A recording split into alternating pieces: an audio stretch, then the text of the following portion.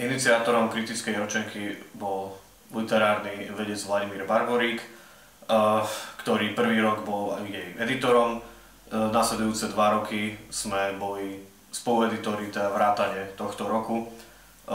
Podstatou kritickej ročenky je nazbierať, združiť na jedno miesto najlepšie literárno-kritické výkony predošlého roka tento výber je samozrejme podmienený nejakým našim subjektívnym videním, ale veríme, že si že predstavuje aj istým spôsobom objektívny uh, výber. Aj keď predpokladáme, že iná dvojica editorov by vybrala možno aj diametrálne odlišné texty. Nemôžem hovoriť za nás oboch, keďže tento výber, uh, v podstate, ktorý budete držať potom v rukách, dúfam, vznikol konsenzom, kompromisom alebo dalo by sa povedať prienikom našich dvoch ideálnych výberov.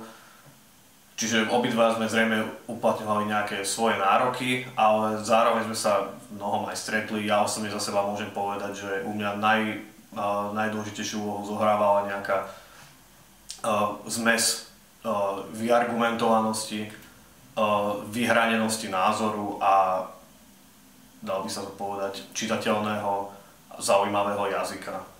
Predpokladanými čitateľmi kritickej ročenky by mali byť literárni vedci a kritici, e, študenti a iná verejnosť, ktorá sa zaujíma o literárny život, literárnu kritiku, literárnu reflexiu.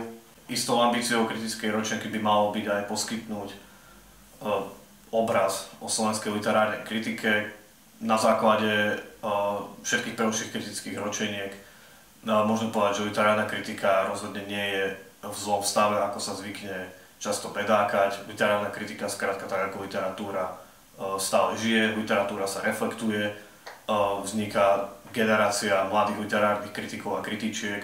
Naša e, veľká vďaka patrí Literárnemu informačnému centru, ktoré sa rozhodlo kritickú ročenku vydávať a všetkým zúčastneným pracovníkom Literárneho informačného centra a ľudí, ktorí súhlasili so, so zaradením do kritickej ročenky.